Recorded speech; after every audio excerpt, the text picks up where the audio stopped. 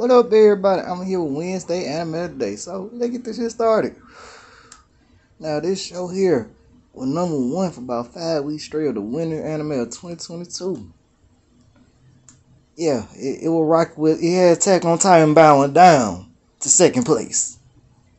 If y'all kept up with the anime or been seeing the clips on Facebook, Instagram, whatever the fuck you got social media in an anime group, I know somebody that shared the fight scenes, even on TikTok. But with two seasons and a movie, and they goddamn turned the movie into goddamn seven episodes. Subbed and dubbed for the goddamn movie in the first season. Second season have not been dubbed, just ended Sunday. But Demon Slayer is Wednesday Anime Day. And when I say the entertainment district, aka the red light district, went hard, boy, they clown that shit. Boy, they did that, boy. They, boy, they hit, they pulled it to the T with the manga.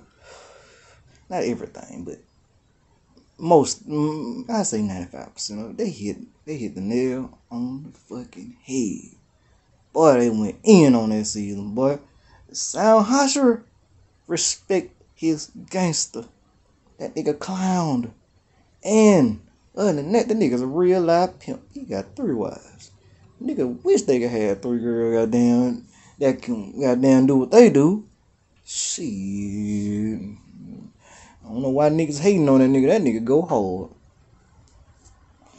I'll be sitting right beside his ass. What's up, my niggas? I need your goddamn friends, friends. I need your ninja bitches friends, damn it. Let's side the point. You can watch Demon Slayer on not anime, watch cartoon, Funimation, Crunchyroll, or VRV, or what the fuck you watch on anime. And enjoy y'all day, y'all. Check up the back end. I'm ready to back out. If it ain't money, I ain't worried about the rest. I need respect. I never back down. Bitch, I'm the man, you know I'm different from the rest. I know that they're upset, cause I'm looking like a threat now. We only worry about the.